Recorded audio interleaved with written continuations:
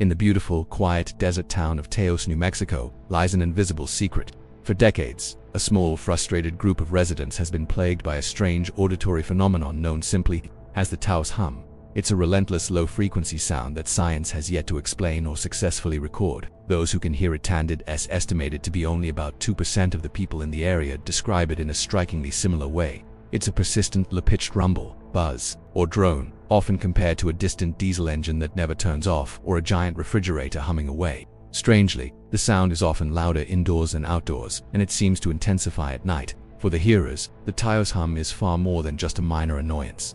Some have reported sleepless nights, nausea, headaches, and profound psychological distress. Imagine hearing a noise that no one else can, a noise that disrupts your peace and your health.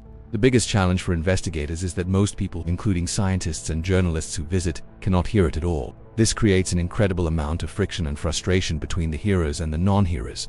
In the early 1990s, the situation got so serious that the US Congress even authorized an official investigation. Researchers armed with highly sensitive audio equipment descended on Taos, determined to capture this elusive noise. They checked everything they could think of, power lines, natural gas pipes, telephone cables, and industrial ventilation systems. Every single test came back inconclusive.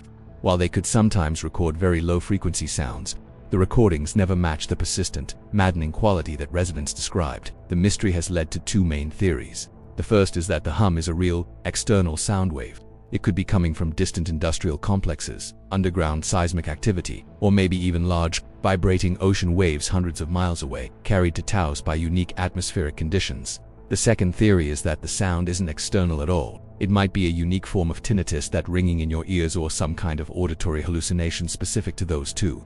Percent of people who share a particular biological sensitivity. Ultimately, the source was never definitively identified. The Taos hum continues to challenge our understanding of acoustics, perception, and the human brain. It leaves a small group of people in the quiet desert plagued by a sound no one else can hear. Trapped in one of the most frustrating mysteries of all one you can't even prove exists. Thanks for watching.